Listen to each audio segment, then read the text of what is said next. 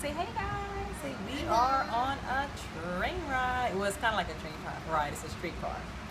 And this is the first time the kids have been on a bus, right? It's like a bus slash train. No, I've been on a bus. and my Well, school- you've been on a bus, but not really like a train. This is sort of like a train, not really. So yeah, we're going to get this day started.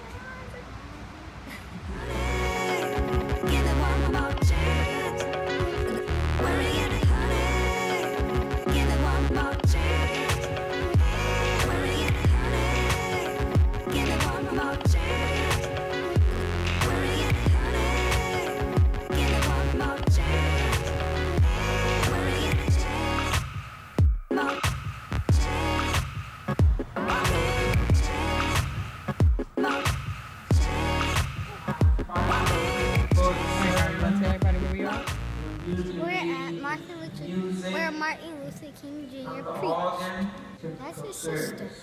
Yeah, I think that's Okay, the next time out, they Christina have King. remembering everything we Martin. sit as us. Martin Luther King's the guy who wrote the I Had a Dream speech. Boy, This is why we're coming here to teach you guys. He was the one that did what I? What did Martin Luther King do? Um, he he was the one that made us. We don't have to be the same color to marry each other. We, he he separated us so we could um all be together. Yeah, he helped us, not separated us, he integrated us. So that we, that means he brought us all together. my mother Yeah, so. I wonder if it was hard. retired Oh yeah, it was really hard. It wasn't easy. to quiet. He went through a lot, and that's why people killed him because they didn't like him for what he was doing.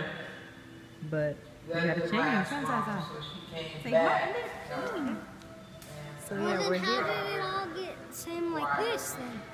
because of Martin Luther King. He brought Well, it. then how did it get like this? The people that didn't like him, what happened to them? They got. They went to jail. And so she had Remember when we were walking up the stairs to the other place? Hmm. The other Martin Luther King, we went to the civil rights, we were walking the stairs and it had those men on there and said the motel and it had those men. Where we seen Martin Luther King lying where he died. I have to show you the video again. I got video of that.